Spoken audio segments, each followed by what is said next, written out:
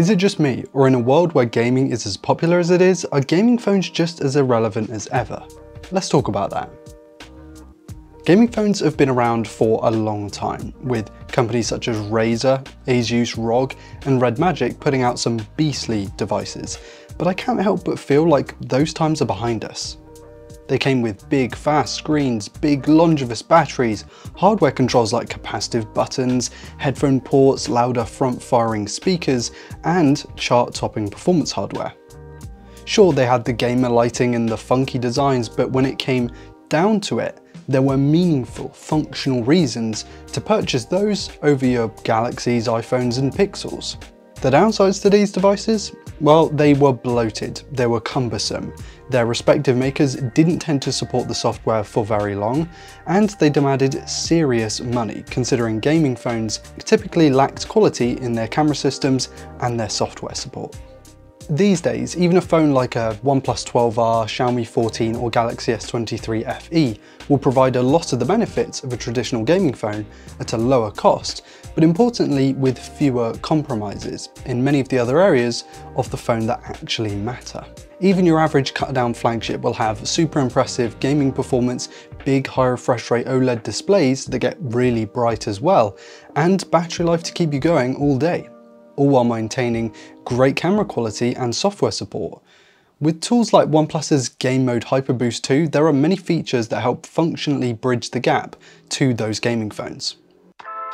Traditional gaming phones have never sold in large quantities, and Asus ROG is the only real gaming phone maker in the West and in the US, with Xiaomi Black Shark and Red Magic being active in limited markets.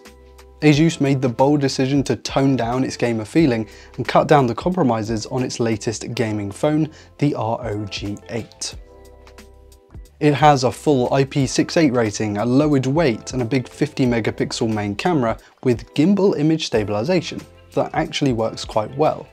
It's clear that the idea with this phone was to retain as many gaming features as possible, but also boost the areas that were previously weak. The issue is though, the ROG 8 is $1,100, putting it uncomfortably more expensive than the iPhone 15 Pro and Galaxy S24 Plus, and $200 more than the OnePlus 12. Let's compare it to that OnePlus 12 for a second. The ROG phone is bigger and heavier with a lower quality display, albeit at a slightly higher refresh rate. It has a worse camera system despite the changes, it only has a couple of percent bigger battery and slower charging too, not to mention the significantly worse software support going long term. In its defense, it does have the better protection at IP68, it has the headphone port, capacitive triggers, none of which can be found on most smartphones these days. But at this point, have normal phones just become so good that gaming phones aren't worth it? Well, I think that is part of the story. There are definitely going to be people out there who would buy one of these, and that's fair enough. But for the average mobile gamer, you have absolutely everything you would ever need in a normal flagship or even a cut down flagship smartphone, a flagship killer if you will. Even something like the Galaxy S21 FE, which is a couple of years old and a cut down flagship at that, is more than enough smartphone to have you covered on the basic mobile gaming front. Even 3D stuff like Real Racing 3, COD Mobile, Genshin Impact, you've heard this all before. You may need to top it up a couple of times in the day if you're looking to play for multiple hours at a time, but the 120Hz display, the solid performance and the decent battery life, they're all there.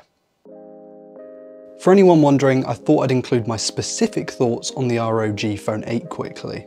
It's a step up from the previous generation in that it feels easier to hold, it retains those core gamer features, and it looks sleeker. It looks less gamery. And from my short time with the device, my main takeaway is that I just don't know if it knows what it's trying to be. It lacks the rainbow RGB and striking design that I think a lot of gamers still desire, but it's not quite good enough to compete with the flagships of the world despite its price point. So yeah, it's kind of difficult. It's still fairly big and heavy and the cameras aren't massively different specs wise compared to last time around.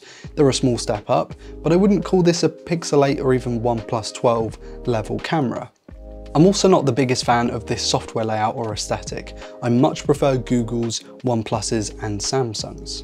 I do appreciate the air triggers and the headphone port, but honestly, I thought I'd missed them more when I moved back to my OnePlus 12, and in reality, they weren't really missed at all. I have to caveat that I'm not a hardcore mobile gamer, but big screens for touch controls and a headphone dongle aren't huge roadblocks for me for a good gaming experience. Going back to the cameras quickly, uh, they're decent, there's nothing mind-blowing there, but if you were expecting a gaming phone to have bad cameras, the ROG Phone 8 isn't following that narrative anymore. Would I still rather use a lower end Pixel or Galaxy, or a OnePlus even? Yeah, but in video, the gimbal camera setup is actually quite cool. It makes shooting Ultra HD 4K 60fps look really stable and smooth. It's definitely a lot smoother than something like the OnePlus 12, but I'm not sure just how many people are looking at buying one of these phones, these gamer phones, with this specific feature. Like, who's buying a gamer phone for decent photos, but seemingly excellent video stabilization? It just doesn't seem to make much sense to me. But yeah, the ROG Phone 8 has some decent cameras. Battery life is fantastic and one of the big reasons to pick up one of these phones.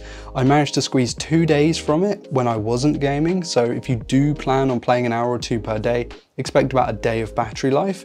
The ROG Phone 8's charging uh, can be done with either the side or the bottom, which is a bit strange. I really didn't find it massively impactful in practice, as cool as it sounds on paper.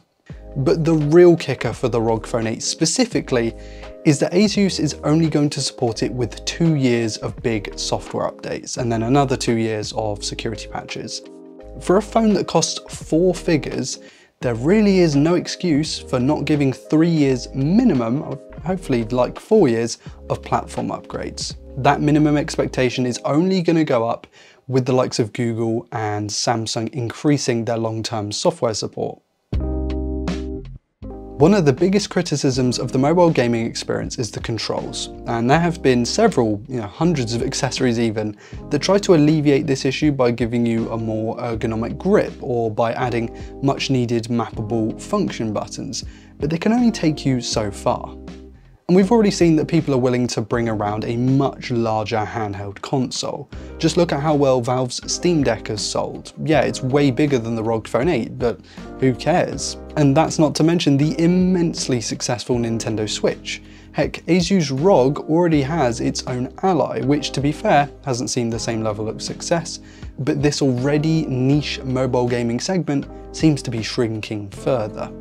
For some perspective, you can pick up a Pixel 7a and a Steam Deck OLED for the price of a ROG Phone 8. That's a combination that I personally dailied for a couple of months and really enjoyed.